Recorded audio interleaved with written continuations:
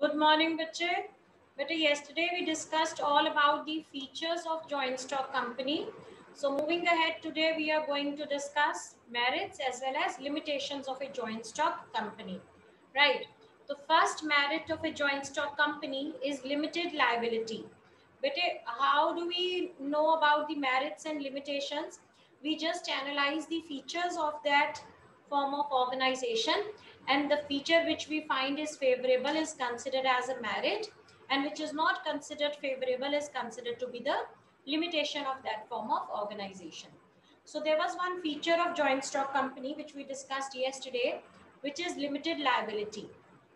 So but according to this, the all the members of the company have their liability limited to the unpaid value of the shares. ठीक है तो अगर आपने कोई भी share खरीदा है, उसकी आपने पार्ट पेमेंट की है और वो कंपनी डूब जाती है, उसको क्रेडिटर्स को अपने डेट्स पे ऑफ़ करने हैं तो उस केस में आपने जितनी अमाउंट अभी शेयर्स की अनपेड रहती है, आपको उतने तक की कर्जा उतारना पड़ेगा। उसके अलावा आपके जो पर्सनल एसेट्स हैं they are very much safe only the assets of the company can be use to settle the debts of the company ठीक है? Owners property owners personal assets they are free from any charge they cannot be used to pay off the business debts so obviously this is one of the uh, biggest merit of a joint stock company that whenever you invest in a company आपने company form of organisation में invest किया है तो उस case में आपका जो risk है वो डिफाइंड है ठीक है आपका रिस्क कहाँ तक है आपका रिस्क आपकी इन्वेस्टमेंट तक ही है। उसके अलावा आपके जो पर्सनल एसेट्स हैं they are very much safe they cannot be use to pay off business debts clear बेटे? Okay so next merits of joint stock companies transfer of interest बेटे ट्रांसफ़र ऑफ़ इंटरेस्ट का क्या मतलब है? Let's say आपने company में invest किया, ठीक है? You have invested say 10 lakh rupees in a company. Right? Uh, हम इसका कंपैरिजन करते हैं आपने ए किया या बी में किया? बी पार्टनरशिप है और a company form of organisation है। ठीक है? तो अगर आप 10 लाख रुपए ए में इन्वेस्ट करते हैं और आपको कल को पैसों की ज़रूरत पड़ जाती है तो you can sell off your shares to any other person ठीक है? आपकी इन्वेस्टमेंट जो है वो टाइड नहीं है. Your funds can be easily transferred from one person to an other आप एक पर्सन को अपने जो शेयर्स हैं वो बेच सकते हैं। ठीक है? You need not worry about your investment being blocked ठीक है? तो ऑन दी अदर हैंड अगर आपने पार्टनरशिप फॉर्म ऑफ़ ऑर्गेनाइजेशन में किया हुआ है बेटे तो उस केस में आप अपने अगर पार्टनर को कहते हो कि मुझे इतने पैसों की ज़रूरत है तो दे माइट डिले और they might not agree to your moving out of the partnership. They might not be interested in giving your capital back to you. Whereas company में जो आपने पैसे इन्वेस्ट किए हैं, आपकी इन्वेस्टमेंट वो इमीडिएटली लिक्विडेट हो सकती है। ठीक है? शेयर्स आर जस्ट लाइक बेटे सेकेंड हैंड गुड्स जैसे कि आपने एक शोरूम से से सपोज़ करो, एक मारुति उद्योग, एक कंपनी है। आपने इनसे कार परचेज कर। ठीक है? कल को अब आपको पैसों की ज़रूरत पड़ेगी, आप कार को बेचना चाहते हैं। तो आप ये कार मारुति उद्योग को जाके थोड़ी ना बेचेंगे। कहाँ जाके बेचेंगे आप? कैन यू टेल मी आपने मारुति उद्योग से कार ली, ठीक है? कल को आपको पैसों की ज़रूरत पड़ गई। You want to sell off this car where would you sell this car anyone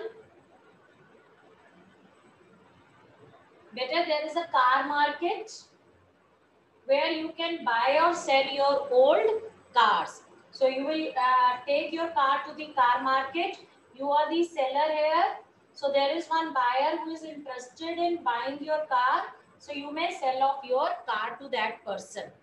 ठीक है तो आपने कार कार ली थी लेटर से दस लाख रुपए की क्योंकि ये फिक्स्ड एसेट है ये डेप्रीशिएट हो गया आपने एक साल चला ली आपने ये आठ लाख की बेच दी ठीक है same is the case with the shares बेटे, शेयर्स के साथ भी सेम केस होता है।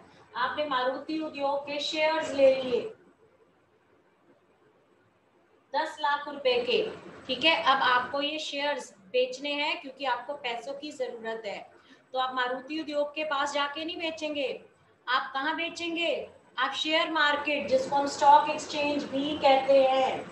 जिस तरह से शेयर कार मार्केट है, उसी तरह से शेयर मार्केट भी है। जहाँ पर डिफरेंट कंपनीज़ के शेयर्स बेचे और खरीदे जाते हैं। ठीक है? So you will go to the share market commonly known as stock exchange ठीक है? You want to sell off your find find one buyer and you will uh, sell your shares to that buyer and you will get your cash in hand. Got it bete यहाँ तक किसी को कोई doubt है? You can ask with transfer of interest का मतलब फिर क्या बना? ट्रांसफ़र ऑफ़ इंटरेस्ट का मतलब है बेटे कि आप किसी भी टाइम अपनी इन्वेस्टमेंट को लिक्विडेट कर सकते हैं। Any time you can liquidate your investment आपकी इन्वेस्टमेंट ब्लॉक नहीं होती है कंपनी में।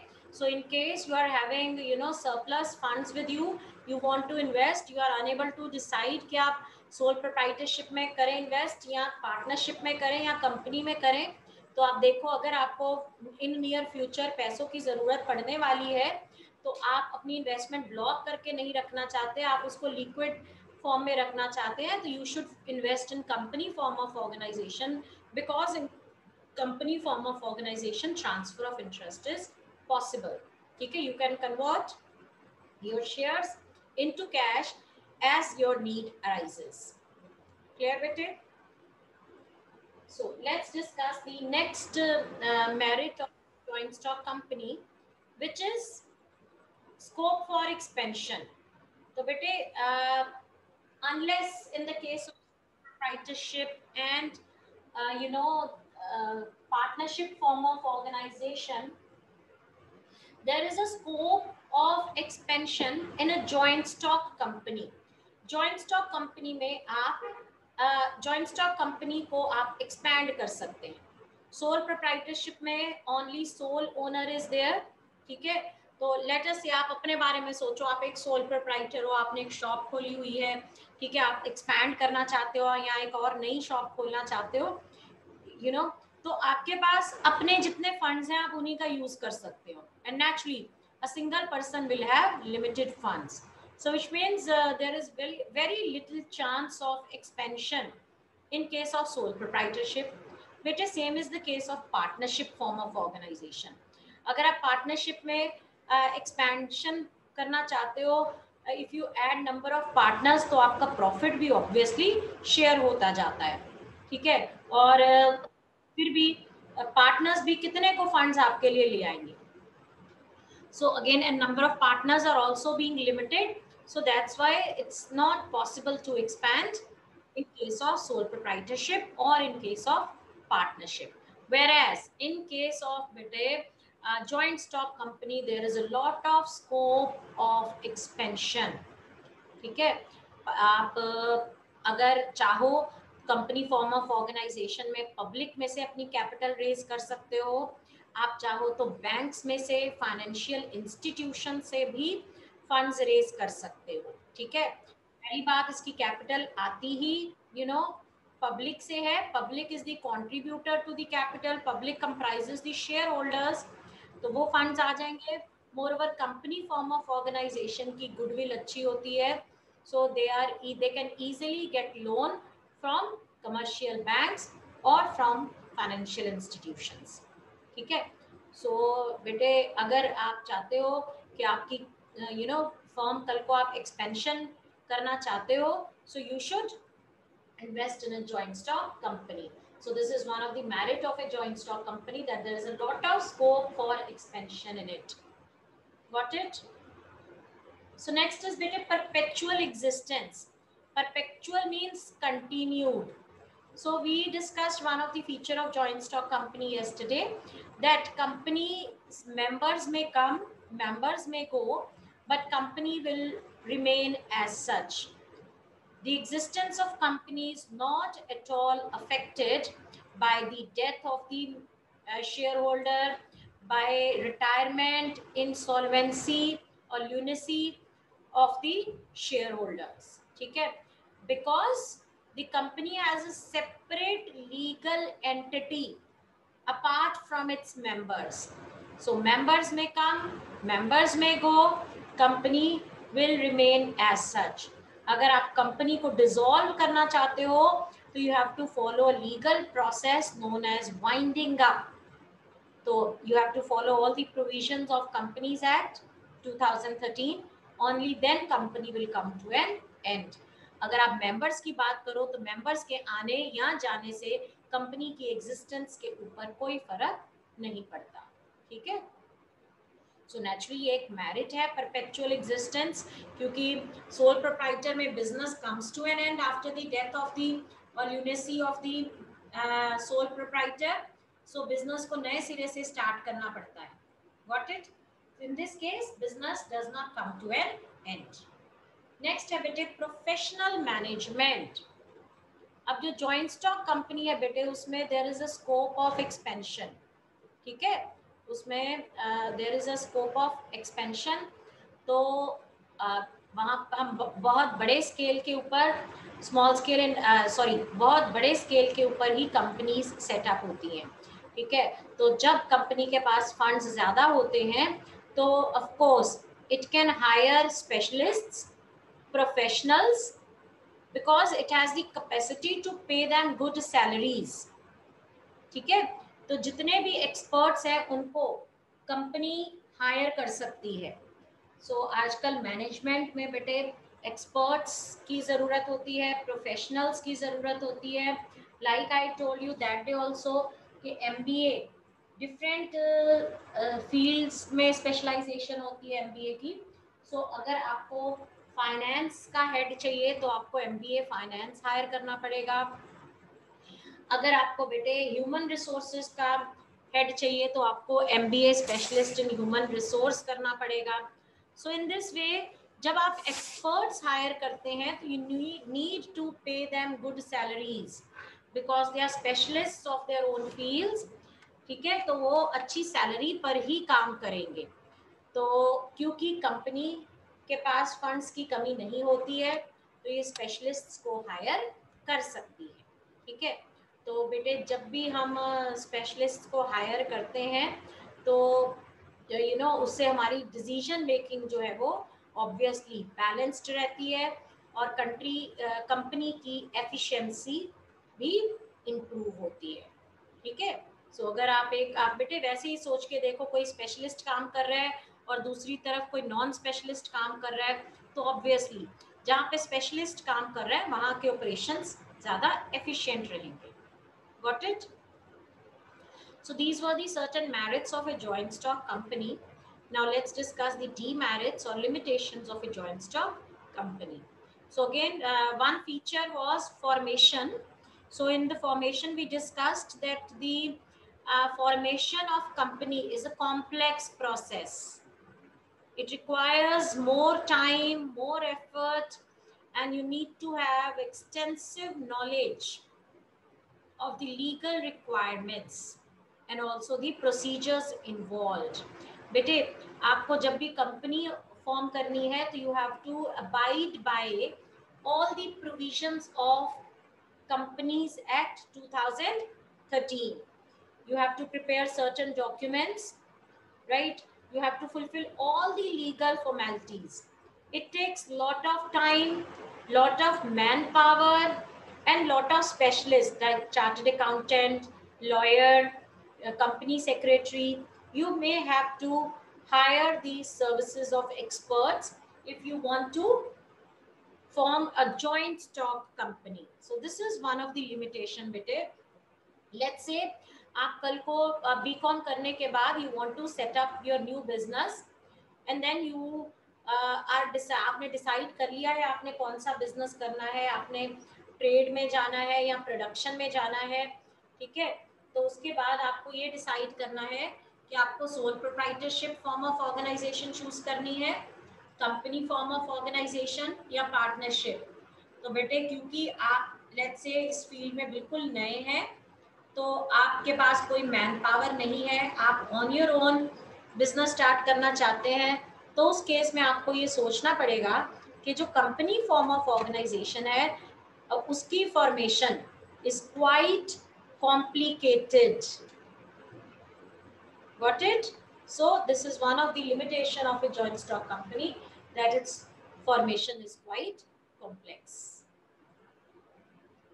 right then bete next limitation of a joint stock company is lack of secrecy बेटे जो कंपनीज एक्ट है ना वो आ, कहता है कि कंपनी को टाइम टू टाइम कुछ इंफॉर्मेशन उसने लिखी हुई है जो वो कहता है टाइम टू टाइम आपको कंपनी को रजिस्ट्रार के पास आके सबमिट करानी पड़ेगी।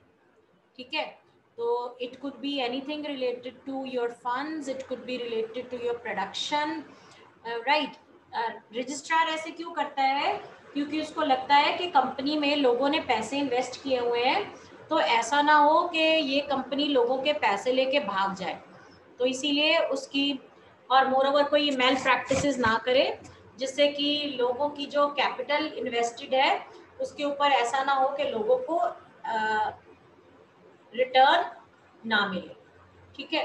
तो इसीलिए कुछ इन्फॉर्मेशन वो टाइम टू टाइम कहता है कि मेरे को आके सबमिट कराओ ठीक है? अब बेटे, इसके पीछे कुछ भी लॉजिक हो, लेकिन कंपनी की सीक्रेसी यहाँ पे कॉम्प्रोमाइज हो रही है। है ना? It it becomes very difficult for the company to maintain complete secrecy about its operations right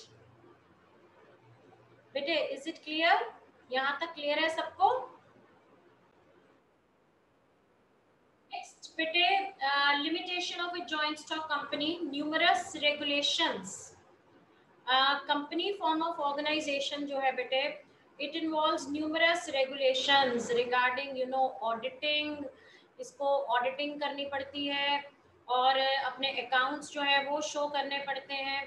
So lots of you know regulations are there for a joint stock company form of organisation which are not there in sole proprietorship और partnership form of organisation ठीक है? हर company को बेटे auditing करानी पड़ती है, कुछ reports filing करनी पड़ती है, कुछ डॉक्यूमेंट्स प्रिपेयर करने पड़ते हैं, ठीक है? और ये सारी चीज़ें करने के बाद ही उसको सर्टिफिकेट ऑफ़ इनकॉर्पोरेशन मिलता है। और इसके करके बेटे कंपनी की फ्रीडम जो है वो रिड्यूस हो जाती है। And it takes lot of time efforts and money to do all these things right next बेटे डिले इन डिसीज़न मेकिंग अब डिसीज़न मेकिंग डिलेड रहती है जॉइंट स्टॉक कंपनी में। हम इसको कंपेयर करते हैं सोल प्रोप्राइटरशिप और पार्टनरशिप फॉर्म ऑफ़ ऑर्गेनाइजेशन के साथ। सोल प्रोप्राइटर में क्या होता है? uh, जो सोल प्रोप्राइटर है ऑल इन ऑल उसको सारी डिसीजंस खुद ही लेनी है। Be it related to finance management production anything marketing so, naturally, he will take the decision. When he's taking the decisions on his own, it will not take much of his time. Similar is the case with partnership बेटे. अगर दो या तीन, चार partners हैं, वो मिलके उन्होंने भी जनरली अपने फील्ड्स डिवाइड किए होते हैं. प्रोडक्शन से रिलेटेड ए डिसीज़न लेगा मार्केटिंग से रिलेटेड डिसीज़न बी लेगा, ठीक है? So there is not much delay in the decision making in sole proprietorship और in partnership form of organisation लेकिन बेटे, जो जॉइंट स्टॉक कंपनी है, मैंने आपको कल भी बताया था कि ये डिफरेंट शेयर होल्डर्स हैं, ये वोटिंग से अपने रिप्रेजेंटेटिव्स चूज़ करते हैं, जिनको हम कहते हैं बोर्ड ऑफ़ डायरेक्टर ठीक है? So which is followed by the top management company के डिफरेंट लेवल्स ऑफ़ मैनेजमेंट होते हैं। ये हम नेक्स्ट ईयर बिज़नेस स्टडीज़ में पढ़ेंगे लेवल्स ऑफ़ मैनेजमेंट अभी के लिए आप ये जानो कि there are three levels of management top management middle management lower level और सुपरवाइजरी मैनेजमेंट ठीक है? सो बेटे, ये सारी जो लेवल्स ऑफ़ मैनेजमेंट है, अगर हमें कोई भी डिसीज़न लेना है तो हमें उन डिसीज़न को लोअर लेवल से पूछना पड़ेगा मिडिल लेवल फिर टॉप मैनेजमेंट को कन्वे करेगी, जो कि बोर्ड ऑफ़ डायरेक्टर्स को कन्वे करेगा। ठीक है? ऐसा नहीं है कि बोर्ड ऑफ़ डायरेक्टर्स के लिए कंपल्सरी है, इन सबको यू नो कंसल्ट करना। बट अगर हाँ आप अगर डेमोक्रेटिक मैनेजमेंट चला रहे हो पार्टिसिपेटिव लीडरशिप कर रहे हो तो you have to take their you know decisions into consideration हाँ अगर आप ऑटोक्रेटिक लीडरशिप हो ऑटोक्रेटिक मीन्स आप किसी से पूछते नहीं हो। On your own you are taking decisions dictator हो आप। तो in that case it is not compulsory for you to you know advice from any of them but फिर भी जनरली बेटे, क्योंकि ये डेमोक्रेटिकली मैनेज होती हैं कंपनीज़ तो उनको इनका व्यू पॉइंट ध्यान में रखना पड़ता है। So naturally it would take lot of time to take their you know considerations इनकी डिसीजंस को कंसिडर करना, इनकी डिसीजंस को लेके फिर एक डिसीज़न लेना it would lead to delay in decision making process ठीक है? सो बेटे, ऐसा नहीं है कि number of limitations are more than number of merits तो ये एक अच्छी फॉर्म ऑफ़ ऑर्गेनाइजेशन नहीं है. इट्स नथिंग लाइक दैट ठीक है? यू हैव टू वे कि अगर डिले इन डिसीज़न मेकिंग होती है तो यू you नो know, क्योंकि कंपनी एक बड़ी कंपनी है इसके एक्सपैंड uh, किया हुआ है इसने अपना business so nothing wrong in delay in decision making is there ठीक है? नेक्स्ट बेटे लिमिटेशन है oligarchic management oligarchic what does it mean ओली जहाँ पर भी वर्ड आता है इसका मतलब होता है अ फ्यू ठीक है? A few so this is basically management by a few persons company form of organisation में जो मैनेजमेंट है that is in the hands of a few persons अभी मैंने आपको बताया कंपनी डेमोक्रेटिकली मैनेज्ड है। ठीक है? जहाँ पे जो बोर्ड ऑफ़ डायरेक्टर्स हैं, वो शेयर होल्डर्स को रिप्रेजेंट करते हैं। शेयर होल्डर्स कौन है? ओनर्स हैं। ठीक है? तो उन owners let us say there is multitude of owners multitude of share holders लाखों शेयर होल्डर्स हैं। तो इन लाखों शेयर होल्डर्स ने छह बोर्ड ऑफ़ डायरेक्टर्स को चूज़ किया, जो कि ये लाखों शेयर होल्डर के को रिप्रेजेंट करते हुए उनके बिहाफ पर डिसीजंस ले रहे हैं मैनेजमेंट कर रहे हैं। सो बेटे which mean six people are representing lakhs of people so this is what management by few got it so this is limitation इसमें जो शेयर होल्डर्स हैं they may not be satisfied with the decisions which is taken by board of directors, but then there is no option whatsoever जिस जैसे India में democracy है, हम vote दे के अपने लीडर्स को सिलेक्ट करते हैं, लेकिन फिर भी जो वो डिसीजंस लेते हैं, हम जनरली उनसे सेटिस्फाइड नहीं होते हैं। लेकिन हम उसके बारे में कुछ कर भी नहीं सकते। ये डेमोक्रेसी है बेटे। ठीक है? So oligarchic management which means rule by a few so again this is one of the limitation of a joint stock company coming to the last बेटे conflict in interest okay I will be explaining second point कौन सा है बता, करवा देती हूँ हर्षिका। अभी conflict in interest कर लो बेटे। There may be conflict of interest amongst the various stakeholders of the company. Who are the stakeholders? हर कंपनी में जितने लोगों का इंटरेस्ट होता है, वो सारे के सारे कंपनी के स्टेक होल्डर्स हैं। कौन कौन से लोग हैं जो कंपनी में इंटरेस्टेड हो सकते हैं? कंपनी के एम्प्लॉज कंपनी के इन्वेस्टर्स यानी कि शेयर होल्डर्स कंपनी के कस्टमर्स सपोज़ आपके पास मारुति उद्योग की एक कार है तो मारुति उद्योग जो भी डिसीज़न लेगी उससे कंपनी के एम्प्लॉज अफेक्ट होंगे कंपनी के ओनर अफेक्ट होंगे और आप लोग जिनके पास कंपनी की कार है वो लोग अफेक्ट होंगे even government of the country will also be affected. So these are the stakeholders of the company. So sometimes what happens, uh, there is a conflict of interest.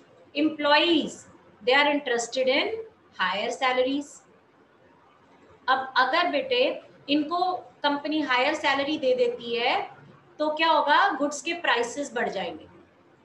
Goods के prices बढ़ जाएँगे तो customer customer का interest क्या था? To get better quality product at low price ठीक है? तो अगर हमने इनकी बात मान ली तो ये सफ़र करेंगे।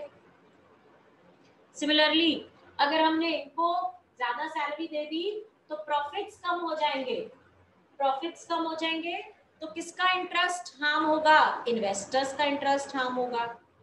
ठीक है? सो बेटे, ये बहुत ही मुश्किल हो जाता है to satisfy the diverse interest every stakeholder has different interest, and if we favor the interest of one stakeholder, we may go against the interest of the other stakeholders so it becomes very difficult to satisfy uh, you know interest of diverse stakeholders okay one point was left that is impersonal work environment impersonal work environment क्या होता है बेटे letter से आप shopping करने गए अपने लिए शूज़ लेने गए या मोबाइल लेने गए मॉडल टाउन में आप एक शॉप शॉप पे गए वो शॉप जनरली सोल प्रोप्राइटरशिप या पार्टनरशिप फॉर्म ऑफ़ ऑर्गेनाइजेशन में आ, बनी होती है ऑर्गेनाइज होती है।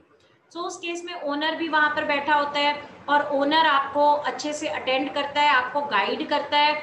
आपके साथ कई बार पर्सनल रिलेशंस डेवलप हो जाते हैं कि कल को आप उनसे दोबारा कोई चीज़ लेने जाते हो आपको डिस्काउंट दे देता है या आपको अच्छे से ट्रीट करता है या यू you नो know, अच्छे से गाइड कर देता है। बता देता है कि ये मॉडल मत खरीदो ये खत्म होने बंद होने वाला है तो आगे मुश्किल आएगी इस तरह से। Is it's possible because in sole proprietorship owner is managing the affairs whereas, this is not the case in case of a joint stock company. There is a separation of ownership and management. ठीक है?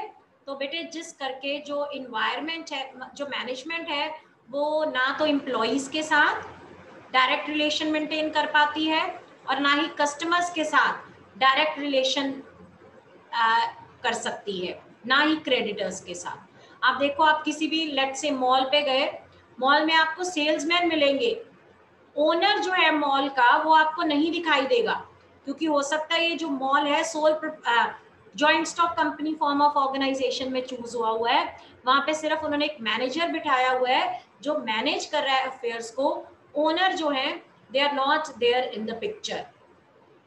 So because of separation of ownership and management, Vijay, there is the impersonal work environment in such type of form of organization. Clear? Anyone having any doubt?